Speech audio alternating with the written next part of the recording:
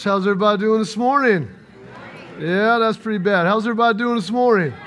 Good, good, good. You are alive. Wanted to say good to see you. And uh, just also just thank you for giving towards our building campaign. We are continuing to build and get that thing going. I don't know if you've noticed or drove by there recently, but if you drove by south on Beach Express, kind of looked over to your right at County Road 12, you'll see an airplane hangar over there uh, which is really called our church. the whole end of it's blown out. Have y'all seen that? Anybody seen that? Uh, man, you need to check that out. It's a, it's a, you really could drive a Boeing 747 probably up in there and park it. But uh, we're just blowing that out so we can expand the auditorium for the thousands of people that we're going to be bringing into that sanctuary. Somebody say amen. Come on. Jesus said, Don't wait and say four more months until it's harvest. Look now, the fields are white until harvest. And so we are looking and seeing that take place right before our eyes. I want to encourage you to be back on Wednesday nights right here where we pray. We're in the midst of 21 days of prayer. We're seeking the Lord for our community, for our nation, and for his blessing and an awakening across our country. So please be here for that. We've been having a really sweet time the last several weeks, and you don't want to miss that. It is really, really good time. Well, before I jump into our message, I from time to time you have these wonderful little surprises that come your way that you weren't expecting. And this morning, one of those happened to me. Um, after second service, I went outside to greet a few people, and lo and behold, um, ghosts from my past showed up in the form of Frankie and Denise Chu and their family. I want them to stand up. Would you please stand up and greet everybody? I want y'all to meet these people. Great, awesome. Some of the greatest people you'll ever want to know, they were our youth pastors when we were pastoring in Missouri years and years ago. And, uh, and that was just one of the things that they did, right? I mean, he ran the camera and uh, the audio and did the youth and played drums. I mean, I, I mean, like, that was just a couple things he did, you know what I'm saying? And uh, everybody needs a person like that in their life. And Frankie and Denise have been that, and they've been faithful friends of ours ever since. I mean, they're the kind of friends that when you go out of town, you come back and find out that they literally broke into your house and took all the labels off your canned goods in your entire pantry. That's the kind of friends you need. we had a great time. I remember uh, one thing, sorry, just going down memory lane for just a second, but uh, so back in those days, you know, we had um, all the songs were up on a slide screen. You know, you had these little transparency things, the transparent overhead, you know, slide, you know, overhead. You know what I'm talking about? So, so anyway, we thought we would get really fancy and we would get buy a projector, you know, like a like a like that right there. And uh, we're like, man, we're so we invested a large amount of money to buy that thing right there and to hang it down for. So we were so excited. Finally came, and it was Frankie's job to climb up the scaffolding and install this projector. And we're all excited. We're all just kind of watching this thing unfold. And uh, as he's kind of putting it up there to bolt it into the ceiling, somehow it just came out of his hands. Came in, hit the scaffolding, and then just fell, just like in slow motion. Just, I'm seeing ding, ding, ding, thousands of dollars just woo, woo, hit the floor, hit the floor. And everyone was just like stunned. It was like, and and, I, and I said, all I could say was, oh, that can't be good. You know, that's all, that's all I can say. Remember, that's all I said. And that's the only thing anyone said. He climbed down from the scaffolding, picked it up, plugged it in, and it still worked. Only God could do that. I'm saying only God could have done that for you. Yeah, he loves you, Frankie. Anyway, get to get to meet this couple that the favor of God's on their life, no doubt about it. Uh, two guys were golfing and one guy was reminiscing and talking about just complaining actually to his friend about, you know, child, rearing a child and growing children. He goes, you know, in my day, you know, when I got in trouble, that my dad would send me to my room for punishment. He goes, but now I send my room, my son to his room for punishment, and in his room, he has his cell phone, he's got a computer, he's got Xbox, all sorts of video games, a flat screen TV, and surround sound. And his friend said, Well, that's not good. He goes, I know it's not good. He says, Well, so what, what are you going to do? He goes, Well, I've already come up with a solution. And he said, What's that? He goes, I send them to my bedroom. How many parents know what talking about, right? You don't have nothing in your bedroom. You got a stinking, you know, satellite capsule going on over there in your son's room. Oh, my. Well, times are changing, aren't they, church? So we thought we would do a little series for a few weeks called Steady as She Goes. Anybody ever heard of that term, steady as she goes? Frankly, it's a nautical term used mostly. It's when a captain of a ship is wanting to give directions to the helmsman, the person steering the wheel, and tell him what to do. And so he would tell the direction, give the direction. The helmsman repeat it back to him out loud, which is appropriate, what you're supposed to do, and they would go on their way. Well, steady as she goes was one of those terms, a nautical term, that the captain would say from time to time to the helmsman. It meant, actually, it was music to the ears of the sailors. When they heard the captain say, steady as she goes, then what that meant was all the sails full sail, everybody, all, everything up, uh, rudders in place, and now we are going to experience a little bit of some momentum. We're going to be able to fly down a little bit straight. It also meant uh, don't look to the right or don't look to the left. It was also used by captains many times when they were under fire, when they were perhaps going through a channel or into a bay or something that they were going to invade, and there were minefields around or explosions going around them. And the captain would just stay very stoic and very um, focused and would say, Steady as she goes. Steady as she goes, meaning don't veer to the right or left, just keep on moving forward and it was it was something that you know you would say if you felt you know if you if you were the one in control and you were in command well, I felt like that was kind of what the word of the Lord dropped into my heart. That in this season that we're in, I, I feel like the Lord is wanting to say to us, church, steady as she goes. There's a lot of minefields around here. There's a lot of things going off and a lot of damage is taking place. We, we got all sorts of things going on that any one of these things would be almost too much for one generation or one culture. But when you put all the things that are going together in one year, in a little time period of just a few months, you can begin to get a little uneasy about where you're standing and where what's going on at this present moment. And I want you to know that we have a captain who's in control, and he's given the order to the church, the body of Christ, steady as she goes. Can everybody say that to your turn to your neighbor and tell them steady as she goes? Can you tell that? Now I don't know about you, but I, I I watch movies from time to time, and my wife, I, she likes chick flicks. You know what I'm talking about? A chick flick. When I say a chick flick, just like a little love story. It's got a ooey gooey stuff, you know. I love you, you left me, but I love you still, and all this kind of stuff. And and then, in fact, this past week, I earned a few brownie points by watching a chick flick with my wife. But we watched it. I ate popcorn, didn't say too much. And, um, and, uh, and, and, but, but what I love to do is watch these action shows. Come on, how many men we got in the house? Come on, just if it's not blowing up, you know, body parts aren't laying out around everybody, it's really not a movie I'm interested in. I, I want to see I, I want to see some action taking place. And uh, so anyway, years ago, I watched this show called this movie called Hunt for Red October. It's about this Russian submarine that's defecting. The cap, the captain of the submarine is wanting to defect to the to the United States, and and so he kind of goes rogue from uh, the Russian uh, fleet of submarines and, uh, and so the Americans don't know if he's for them or for us or against us. And so, so anyway, in part of this movie, the Americans literally fire a, a torpedo at the submarine. And uh, the submarine is down deep into the water and it's going down like a channel, and there's walls on both sides. It's trying to get away from being detected, and it's going down this deep channel, and now there's a torpedo right on its tail. And Sean Connery, now you got to follow along with me. This is just an illustration, okay? Sean Connery in this illustration is God, okay? I know it's a far stretch, but just go with me for a little bit.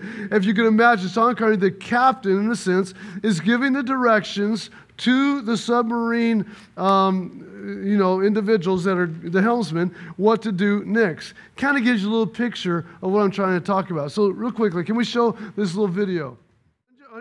Aren't you glad you came to church this morning? Come on, got a little bit of a taste of red. All of y'all are going to go watch Red Hunt for Red October when you leave this morning. I know what you're going to do.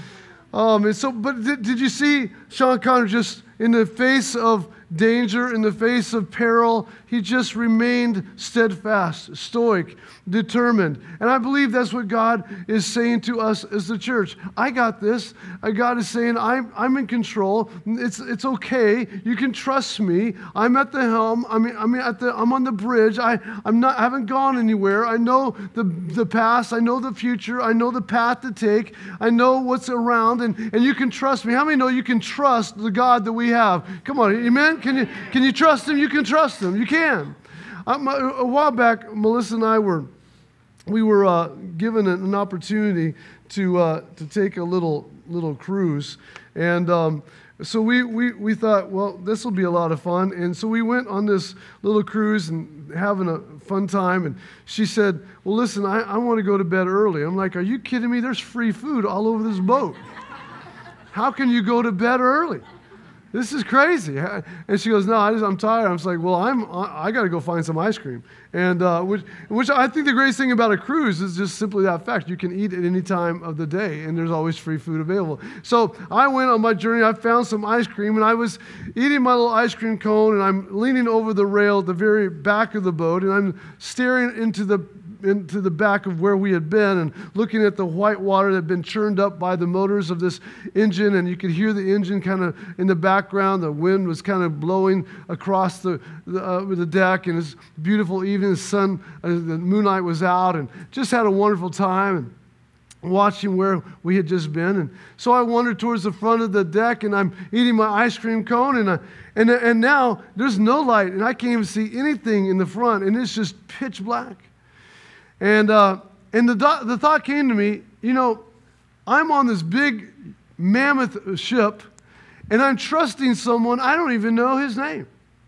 I don't even know where he came from. I don't know uh, anything about this man. I, I, I don't know a thing. And yet I'm sitting on here eating an ice cream cone trusting that when I go to bed tonight, when I wake up, perhaps we will be in a beautiful port and I'll open my window and I'll see this incredible sand and a wonderful island and I'll think to myself, how in the world did I get here? This is absolutely amazing. And I can do that. Why? Because I trust this man up on a bridge called a captain. Now, if I can do that in the natural, how, many, how much more do you think we should be able to trust our God who created this whole ship to begin with? Come on, who knows everything about us, even the hairs on our head. We can trust this God. We can trust this God. We, we find over and over in the Bible where Jesus was unmoved by the situations going around him. In fact, one story tells us he was asleep in the bottom of this boat, and the disciples think he's, they're about to drown. They think they're about to lose their life. They shake and wake him. Aren't you, aren't you concerned about what's going on here? Do you not notice what's happening? And he gets up and he, you know, peace be still, and the whole storm calms him.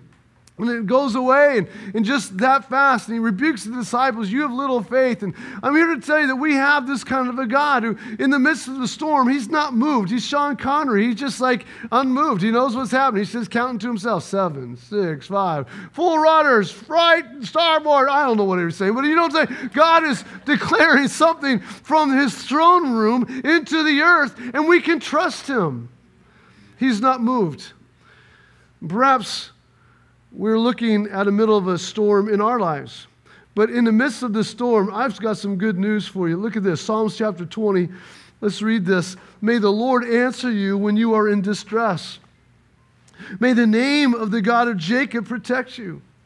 And may he send you help from the sanctuary and grant you support from Zion. Now, the word Zion is, a, is a, another word for the church. It's, you, anytime you see the word Zion, just replace it with the word church. It's what it's speaking to us of.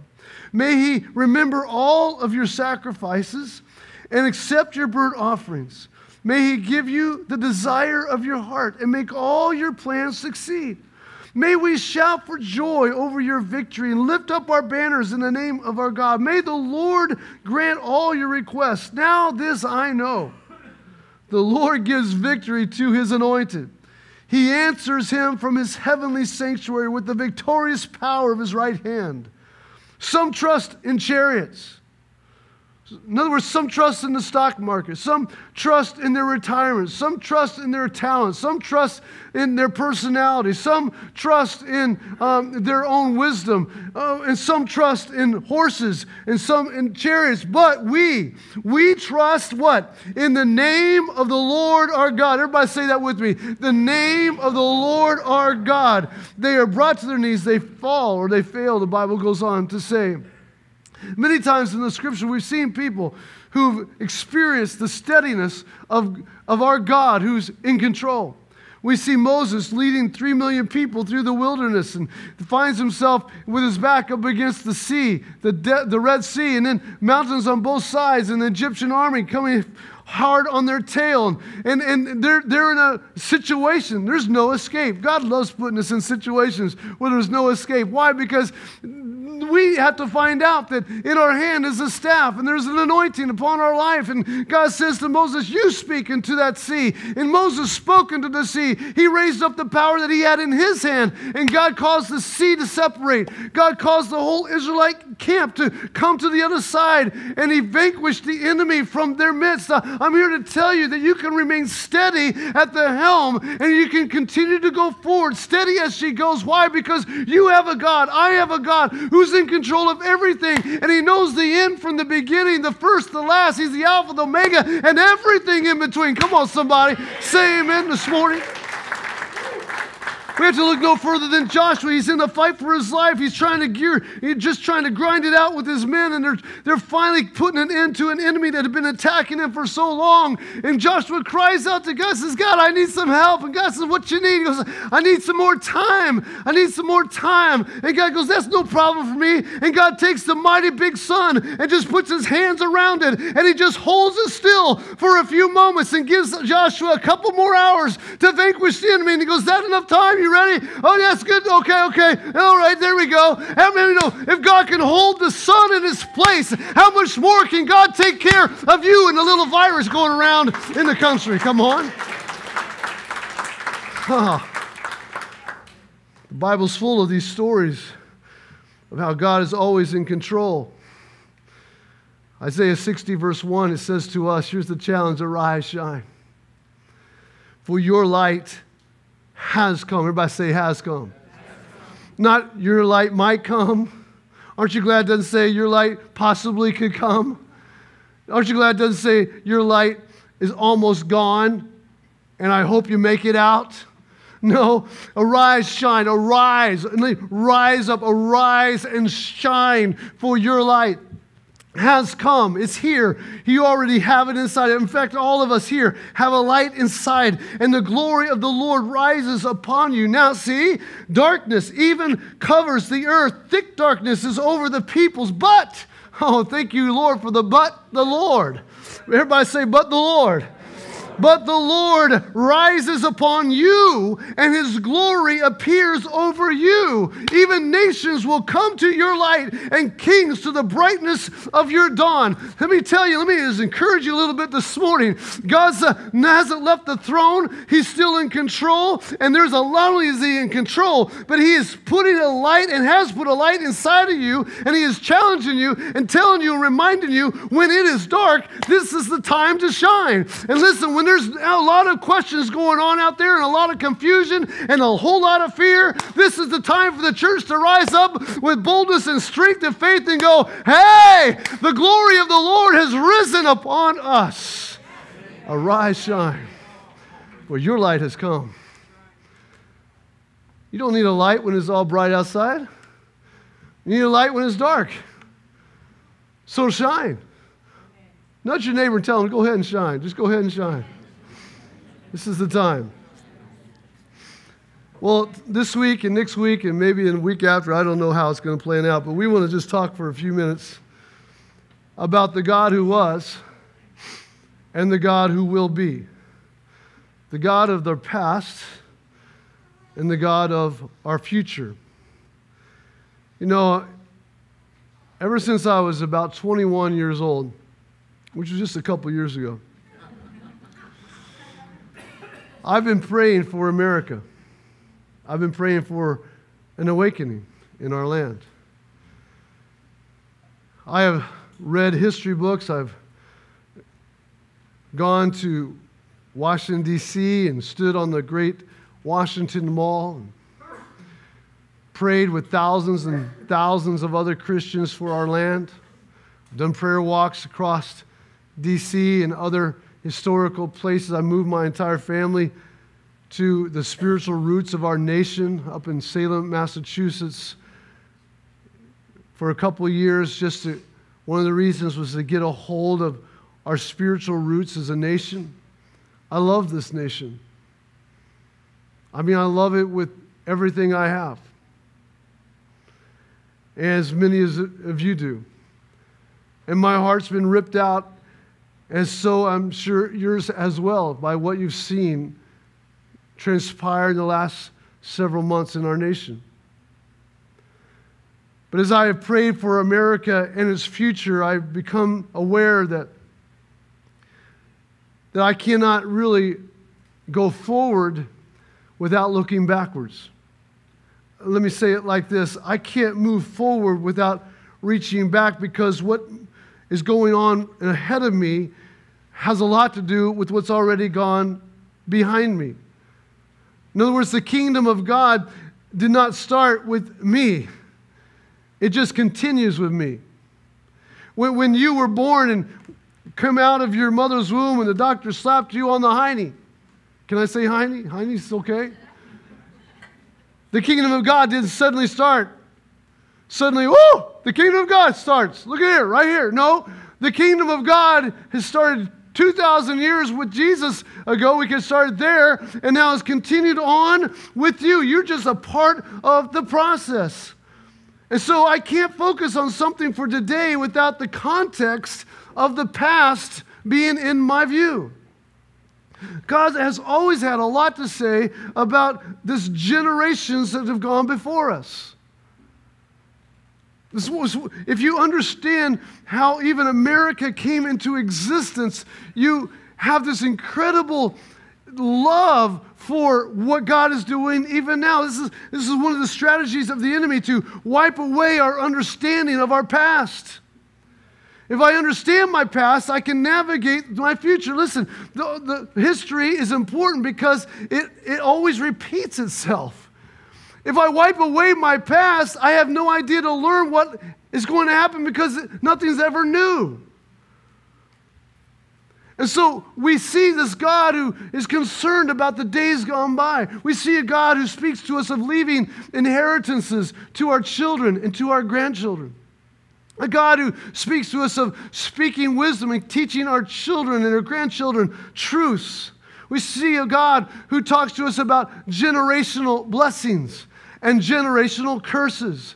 And a God who honors those who have gone before us. We see a God who uh, tells us listen, you need to find yesterday's path. You need to restore past foundations. You need to repair yesterday's breaches. You need to rebuild and not start over. You need to recapture what you've lost so you can move on. We see a God who is so connected with the future, but yet still connected to the past. And we find ourselves in the continuum of time trying to touch uh, both of them together. God has brought us to this point where He wants us to understand that we have a vital role to play in this very thing that's being played out in front of us in, in this time frame that we are in. That He needs you. He needs you to be awake. He needs you to get up on the bridge. He needs you to be aware. He, this is not the time to go to sleep. Uh, this is not the time to sit and relax. Uh, the Bible says in Proverbs, a little slumber, a little sleep, uh, and one is brought quickly to destruction. This is the time to be awake. And so we call 21 days of prayer. Let's get together on a Wednesday night. Let's seek the face of God. And truly we believe that, that, that, that God will heal our land if there's a people that will humble themselves and pray. That for crying out loud, let's humble ourselves and pray. Because six months from now, it may be too late to humble ourselves and pray. And you're going to look back and you could possibly say, How in the world did we get this, ourselves in this mess? And you have to look at yourself and say, Maybe I had a part to play in it. Because God can I'm not trying to bring no shame and condemnation, but if the conviction hits you in the eye, receive it. Because God can only do what He's released to do. It's yea and amen, it says. You say it, and God says amen. He can't, we have to come into agreement with God. We have to declare it. God says, Yes, that's my kingdom, that's my will. It is going to be done now on the earth. We have to stick our heads up into the heavenlies and we have to see what God wants to do in the earth, and then we bring it back down into the earth and we speak it into this existence. We declare it, we petition it, and God goes, Yes, that's what I've been wanting to do. But he can't do that unless there's a people that pray and and seek his face and get an understanding of what his plan is for this moment. Am I talking to anybody this morning? If you're just sitting there watching, you know, the news and complaining all the time about what's happening, and you're doing more watching and complaining than you are praying and seeking, then it's on you. Oh, it's tight, but it's right. Y'all didn't come for this, I know. But I love you. And this is the time for us to rise and shine and for us to seek the face of our God. History matters. Isn't it funny? The word history, his story. His story matters. And inside of every single one of us, his story is already playing out. Did you know this? That inside of you, when you were born as a little baby, there was a little bit of the DNA of great, great, great grandpa Adam. Oh, yeah, the one that messed up to begin with. and inside of you is also the DNA of maybe your, you know, of your, your forefathers have gone before you. Four mothers who, is it four mothers? Is that such a word? Four mothers and four fathers who have gone before you. And you carry within you their DNA. You carry within you your dad's DNA, your mom's DNA. And, and, and that may be, uh, has brought you a blessing, or it may have brought you a few curses, you know. But everything that you are and experiencing has, is a culmination of things that have happened perhaps hundreds and hundreds of years ago. You perhaps are walking in a blessing that really started 300 years ago. Or perhaps you're walking in, in some kind of a conflict that perhaps started 500 years ago. Blessings even go to a thousand generations. The Bible says curses go to a third generation. History is always working inside of you. So here's what I came to understand prayer is so important in this hour. And guess what? Here's the beautiful thing prayer is unending. Do you ever think about that? When does a prayer stop being a prayer? Or you say a prayer and you're like, okay, and it didn't happen. I prayed, it didn't happen. Well, what, what, what happened to that prayer? Did it just like float off into nowhere? Just fall onto the floor? What happened? Did it disintegrate? What happened to the prayer? Can, here's some good news this morning prayer has no ending point until it's answered. So some of you are the answer to prayer that was prayed maybe on the Mayflower. Or maybe, you know, in Massachusetts, the Massachusetts Bay Colony. Or maybe it was a prayer prayed by some great, great, great aunt years ago who prayed for her descendants that they would follow hard after God and that they would seek Him with all of their heart and, and that her descendants would, would be people that would arise and shine when the world got crazy. And somehow that prayer just kept circling the earth and circling the earth and circling the earth until finally you rose up and you received Christ as your Lord and your Savior. You stepped up to the plate and that prayer came zinging right into your heart. And God goes, Now, Aunt Betsy's prayer is coming to pass, and I can do what she prayed 340 years ago. Mama, don't you stop praying for your little child. Your prayers don't stop. They just get bigger and bigger and bigger. The Bible says the Lord stores up the prayers of his saints in the heavenlies until finally it comes to a tilting point and they just kind of tip back over into the earth into an answer. Prayers are powerful. And prayers prayed by our forefathers years ago need to come and find an agreement with somebody in our day and time. We need to stand and begin to just say, I come into agreement with those prayers that have been prayed from our, even our founding fathers. People like George Washington, who prayed for this nation, that it would be a nation that, that would follow after God. Who would say, George Washington himself would say, a nation that does not have uh, that does not have virtue is a nation that will come to its demise quickly. And a nation can only be democratic to the degree that it has virtue. And you lose your virtue, you, you, you lose your democracy. And so, what we're seeing is a nation that is losing its virtue, its integrity, its righteousness. And as a, as a result, it's lost its way. And so, what does it need? It needs an awakening. It needs a revival. It needs a return. And how does that happen? Do you just wake up and suddenly there's an awakening, a spiritual awakening that's taking place in our country? No, it comes from a people that are broken and contrite in heart who cry out to God and say, Oh God, we break, we plead, we beg, we, we weep, we petition you, oh God, for our country that you founded so supernaturally 240 years ago. Oh God, would you come and breathe another awakening into our land. We ask you in the name of Jesus, our Lord and our Savior, bring us back to our roots. Come on. And the question is will you be awake in this hour?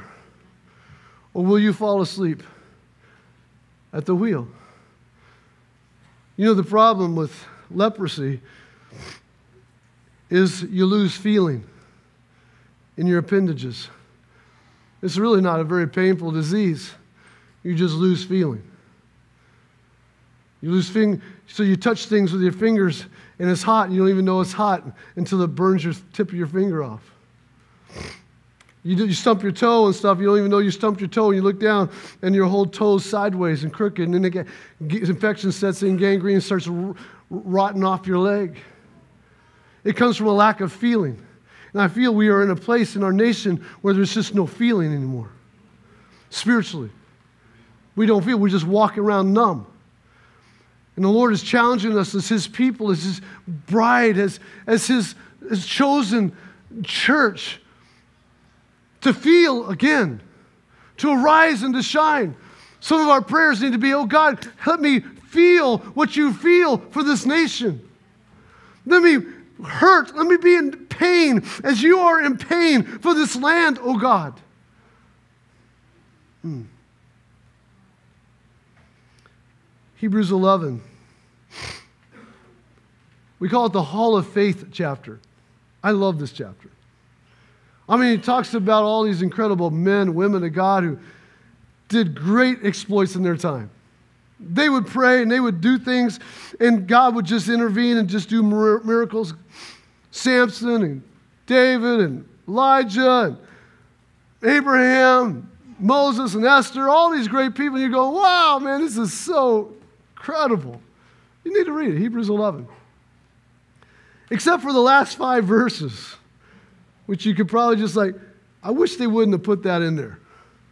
Because you're reading about all these heroics that were being done by all these great people. Women even received back their dead, you know, all these miracles. And then, and then, and then it says this, and, and then there were others. Mm. Others who were tortured, refusing to be released so that they might gain an even better resurrection. Some of your brothers and sisters face jeers and flogging, even chains and imprisonment, were put to death, some by stoning. They were sawed in two. Sawed in two. Killed others by the sword. Some being ridiculed because you weren't allowed to fit into the community. We had to label you as a heretic, and so we would make you wear sheepskin or goat skins. And so they would walk around basically being labeled as a heretic, destitute, persecuted, mistreated. And the world was not worthy of them. They wandered in deserts, some in mountains, living in caves, and some in holes in the ground, just trying to live. And these were all, this is so confusing, commended for their faith. commended, you would think if you had faith, you would be this person that had this great miracle happen, right? That you stood your ground and God intervened, and now everybody else turned around, like, you know, like Daniel or like the three Hebrew children. They changed everything because they stood. They, but no, the, these guys never saw a victory like that. In fact, they were sawn in two, they were killed, they were stoned, they were flogged. And yet they're commended for their faith. Yet none of them, get this, receive what had been promised. Now, watch this. Since God, why? Here's the question why? Why? Why didn't they not receive what was promised? Because God had planned something better for us, so that only together with us would they be perfected. One translation said, would they become complete? One another translation says that would they bring to an end or accomplish what God had purpose for them. What are you saying? I'm saying that there are some people that live their life and you would think, well, look, you know, this killed them or that killed them, and God didn't do a miracle there like we say He can do, but it wasn't that. It was that God had a bigger picture. And when you look at the bigger picture and put that in context with this, then it all makes sense. And now that makes sense. In other words, what God is doing is He's saying, I can't finish in this generation what is needed till the next generation grabs the baton and continues the race. So I grabbed my wife's baton. Basically, it's a vacuum cleaner attachment, but it serves the purpose this morning. Every generation has a baton. We are only one generation away from dropping the baton and it all be gone. Everything depends on the ability of the next generation to reach back and to grab a hold of what the past generation is reaching forward to give them. These people in Hebrews chapter 11, they, they died these incredible, torturous deaths, but yet in the same process, they were passing a baton. And yet, we are told in Hebrews that their life was made complete. In other words, everything that they lived for now makes sense and brought to it power into the future because we were able to grab a hold of what they declared and what they said and make it now manifest in the earth. And so now us together with them makes everything complete. So, interesting that you're here this morning to tell the story. So, my wife and I left Baltimore, Maryland, and came back to this little town in the southwest corner of Missouri to live with my parents and regroup until the next phase of our lives would open up. Never thinking ever twice that I would never be in ministry. We just were waiting for the phone call, the open door, the whatever. And so we moved in with my parents. She's now pregnant with our first child. And one month led to two months, and two months to three months, and doors were not opening. There were no doors at all. And money's getting tight. I got a construction job, and we're working away, and she's getting larger, and eventually she has our child, and, and we're still plugging. I'm still working construction, and listen, I'm not a construction guy. I tell you, I, in fact, in fact, when I was on this crew and we had finished up uh, just really um, finishing out a beautiful garage for this guy. It's taken us weeks to get this completely done. And uh, so the last job was I was supposed to roll insulation out in the top, uh, in the rafters, and everyone's gathering up their equipment so they could go. Everything's painted, everything's done, everyone's excited. Just now, JP's up there putting the insulation, and next thing you know, two legs come flying down through the ceiling of the shed. Oh, I don't even know why they kept me on. And I'm there working and eking out a living, and I remember one day I came to this realization that I may never be in ministry again. It was a shocker to me. I thought it'd never come to my mind. I would never be in full time ministry. And so I went to the pastor. I said, Hey, listen, I just, you don't know anything about me, I just want to serve. And so we, he goes, Sure, man, I want you to make cassette tapes for us. Remember cassette tapes? You know, so I, I made cassette tapes for this guy. And uh, put them out in the foyer in the Sunday mornings, made sure everybody had copies of the sermons that he had preached the week before. I did the yard work, did landscaping around there for him, did everything I could just to be a servant. And I remember praying this prayer. I took a walk one night. I said to my wife, I said, Melissa, I got to take a walk. I got I got to clear my head. The baby was still very little. And, and I remember walking down the street and I said, God, thank you for, with tears in my eyes, Thank you for all the opportunities you've given me to, to serve you. But if you are changing my role from this point on, I just want you to know that I'm good with that. And I'm okay with that. I'll sling a hammer the rest of my life, and I'll be the best construction guy I can be if I can, if that's what you call me. But all I need you to do is give me grace to do it.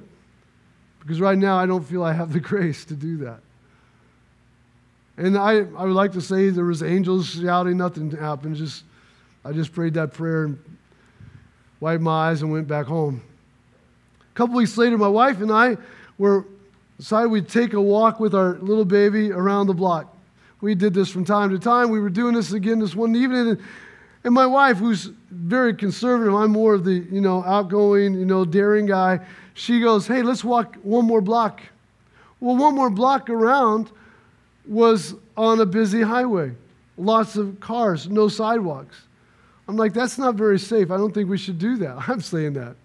And my wife, the conservative, you know, safety security guard, says, no, I think we should. I'm like, okay. I'm having visions of picking up, you know, the stroller and, you know, walking in people's yards, you know, trying to keep my baby secure, but we did, and there was no traffic for some reason that particular moment. And then we walked around the corner back onto the safe, peaceful street that we lived on. And as we were walking, just turned the corner, there was a couple walking into a house with the Bibles in their hand. And uh, they said, Hey. I said, We said, Hey. And they stopped and they said, What you doing? I said, We're just walking a little baby. I said, What y'all doing? They said, Well, we're, wa- we're going into this house having a little Bible study. Would you like to come? I said, Yeah, we'd love to come. Grabbed a little hand, pulled her out, walked, patted her in the little rear, and walked into this little house. We got in that house, and there was 20 people in there having a Bible study. I said, Well, you do this every week? Yeah, we do this every week. We've been doing this for two years. I said, That's interesting. They said, Yeah, we, we've been praying that God would send us a pastor. That's what they said. I about dropped Hannah right there on the floor. I was like, and that started our church right there. And we served for 11 years. And I talked to everybody I knew about Jesus. I, I went everywhere I could. I was involved with everything I could imagine to be involved in. I started everything I could start. I did everything I could do. In fact, if we had Walmart, we had a Walmart store. If I went to Walmart at any given night, which I tried not to because it would take me hours to get home, because I knew so many people there in the store. And, and if I didn't know them, they, they were in our church. If they were in our church, they probably were in our church at one time or knew a friend uh, that went to our church. It was crazy. And so I, one day I was driving down this little town, the, down the street, and I'm looking around. I was like, God, thank you, thank, thank you I have nothing to say thank you, but I have to ask you this question, God. What am I doing in this little tiny town? What am I doing here? What is this purpose? What is the purpose of this? Why me? Why here? I mean, why, why not New Orleans, Baltimore, all these big cities? Why not? Why here? And God spoke to my heart. He said, Because of your great grandfather. And immediately I knew what he said he meant.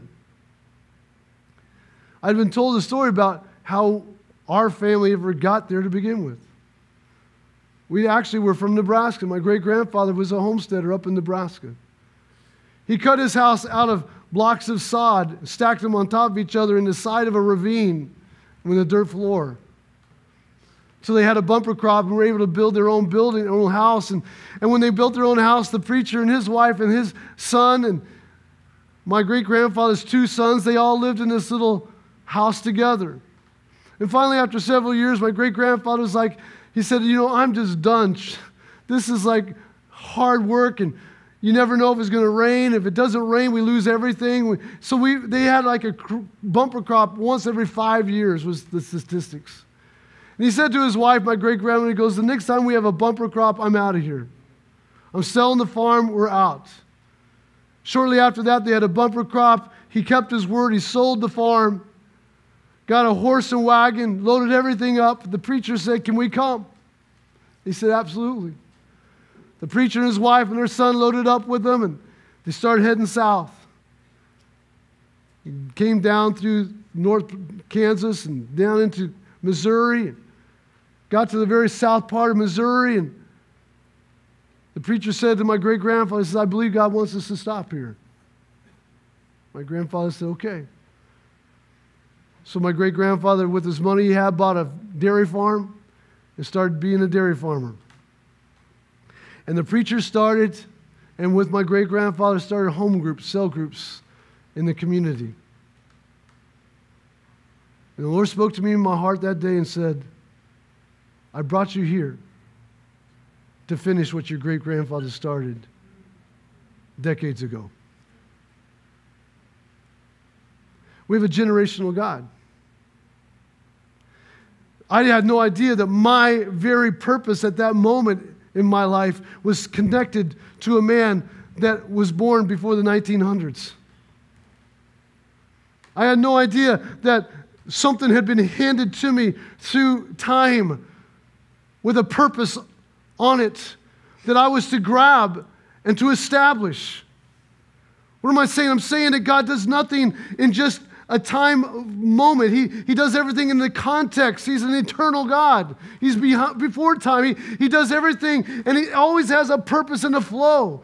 But uh, we have to get in agreement with God, what God is saying for us to do in that moment. I want to ask the worship team to come. I'm not going to be able to stop. What God is wanting us to know is that He has handed us this incredible thing called the message of the kingdom of God.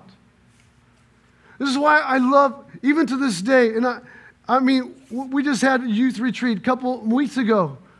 I was there on that Friday night. I, we'll have youth camp next summer. Guess what? I'll be there. I'll be there with a wheelchair. No, not a wheel. I'm not ever going to. They'll be, I'll be there with maybe a cane. I might have a cane when I'm 100 years old. And I'll be at youth camp playing kickball. and we'll be playing Capture the Flag, and, and we'll be talking about Jesus, and I'll be sharing with them about the importance of the kingdom of God in their life.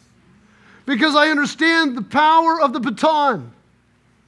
That we have to make sure that there is always a clear smooth transition from one generation to the other generation. We are a multi generational kingdom believing people. And it's important that we understand our purpose for the hour and the next generation's purpose for the hour so we can make that transition when our time comes. Because one time you're going to take your last breath. And when you take your last breath, all that really counts is were you able to hand off? Uh, did you make a smooth handoff to your son, to your daughter, to your grandchildren? To your great grandchildren? Is there a handoff that took place because of you? Is there someone's life in the future that will outlive you, that will be affected and touched because you believed God, that you stood in the gap, that you trusted God, that you stepped out in faith, uh, and now you're able to say, Take the baton and run with the baton.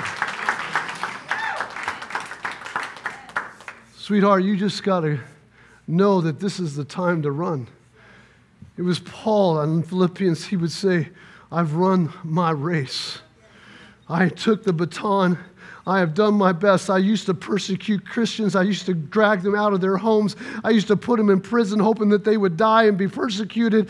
I used to do all those things, but God got a hold of my life uh, and changed everything around on the way to Damascus, uh, on my way to persecute some more Christians. And I realized uh, that there is a God who had a son named Jesus, uh, and he gave his life to Jesus, and God turned his life from Saul to Paul. And when he turned his life from Saul to Paul, after three days of being blind, eyes that were opened, uh, and a revelation hit his heart. The Holy Spirit landed into his spirit by the hands of Ananias, uh, and he picked up uh, what he called the baton. He ran his race, uh, and he ran it with faithfulness, uh, and he ran it with perseverance, uh, and he handed it off. and over and over again, you see him talking back to Timothy, and he's encouraging Timothy. He's saying, Come on, Timothy, you can do it. You can do it.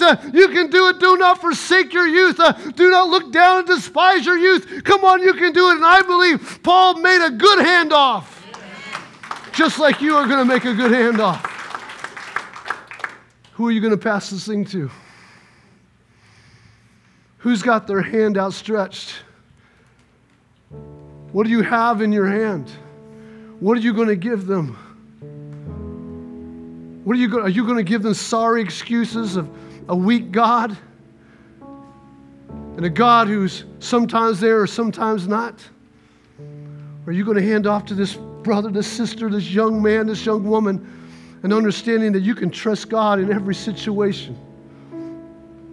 Listen, this little virus thing, not belittling it, this isn't the first situation we've ever had.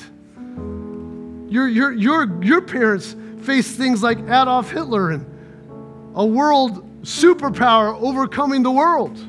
And they navigated through it through prayer. And before them was World War I and the Spanish flu. And before them, there was a handoff from people in the Civil War where brothers were fighting against brothers and fathers were killing sons. And they sought the Lord through Abraham Lincoln, saying, Let us call a time of fasting and prayer that God would heal our land.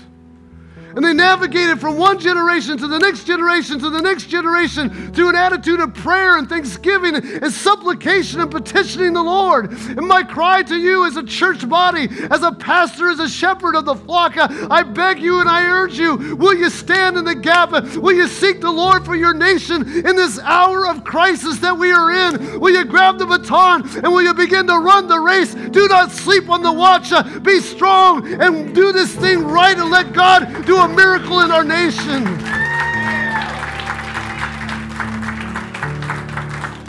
Our Wednesday nights, our Wednesday nights really, I'm telling you, there shouldn't be enough room in this room for this.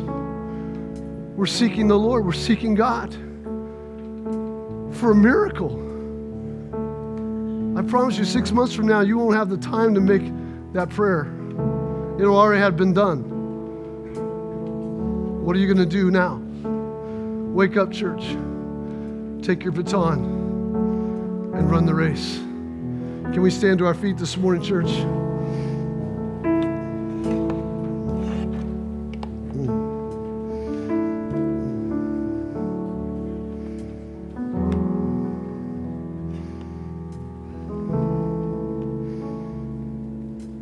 I read few, to you a few weeks ago, I think the words of Abraham Lincoln after he was elected president. And he was leaving Springfield, Illinois on a train.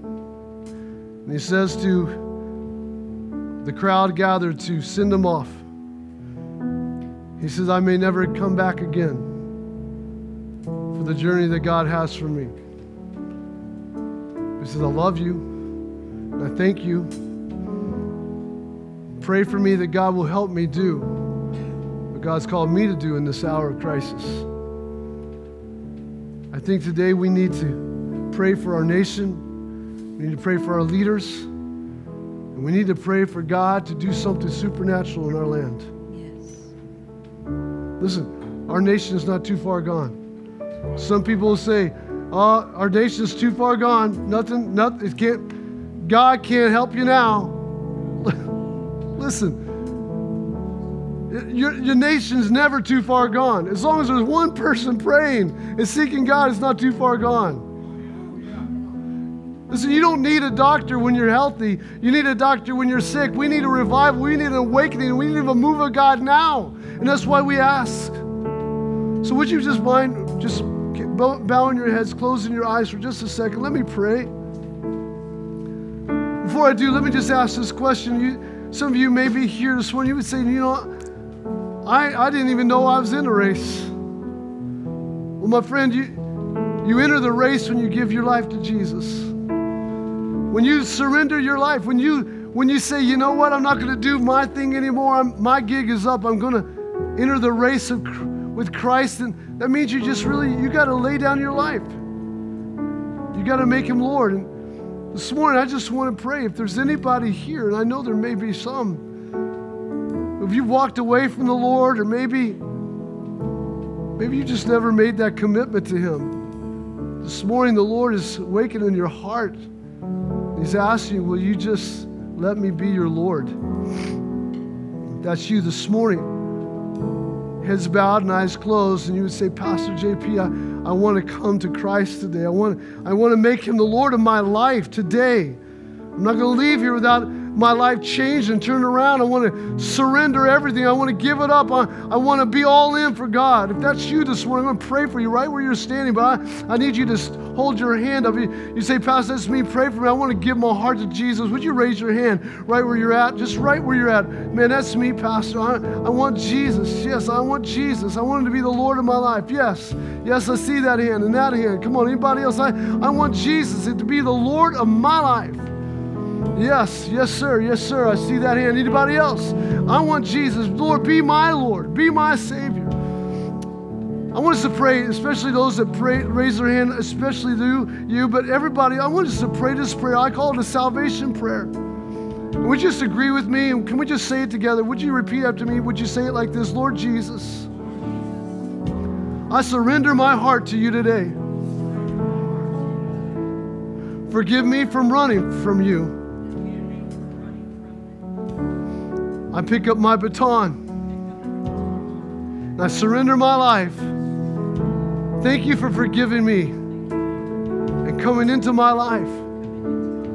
In Jesus' name, amen and amen. Can we give God some praise for those that prayed that prayer this morning?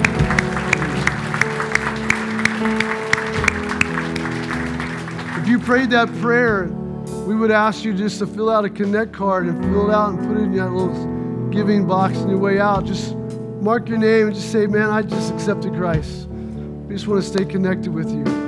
For everybody else this morning, we've been doing this last two services. Uh, do you remember watching the Olympics and the guys like running, you know, with this torch in his hand? I want you to know you got a torch, you got a baton. Would you do me a favor? Would you symbolically, would you just lift up one hand like you're carrying? Just close your eyes for just a minute.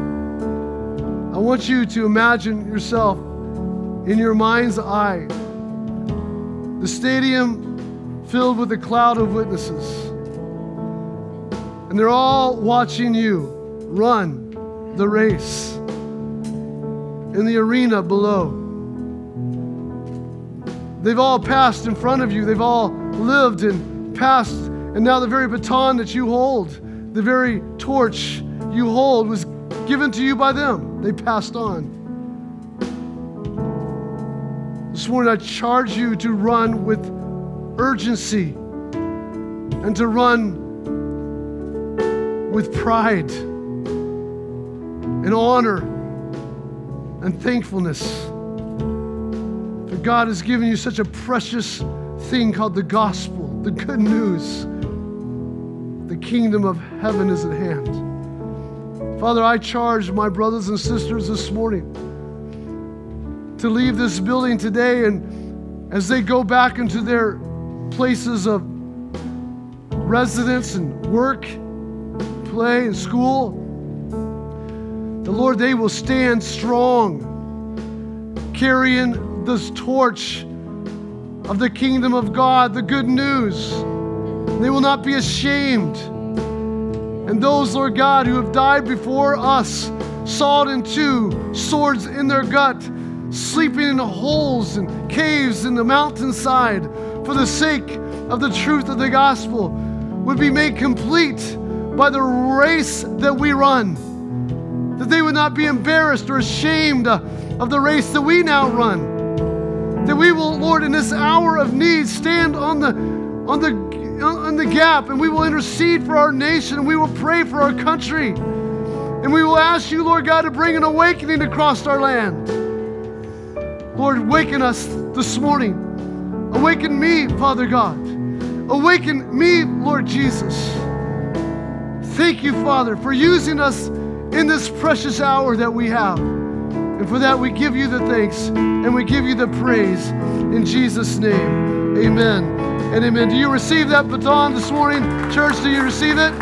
Amen. And amen. We love you. We will see you back here Wednesday night. If you need prayer, we have prayer team right over there. Pray for anything you need. God bless you. Dismiss one row at a time. Have a great afternoon.